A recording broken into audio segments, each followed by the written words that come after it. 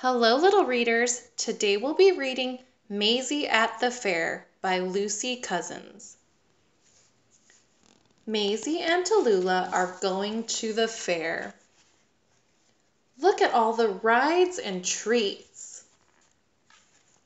First, Maisy and Tallulah go on the big slide.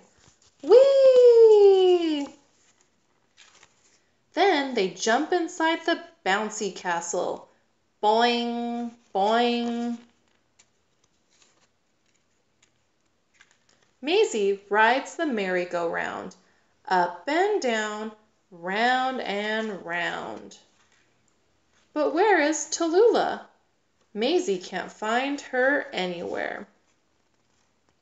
Now Eddie's in the bouncy castle. Boing, boing. Have you seen Tallulah? There she is, way up high.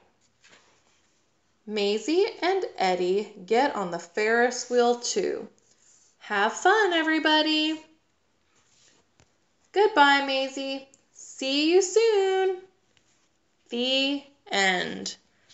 For more stories, please subscribe to our channel, Little Readers.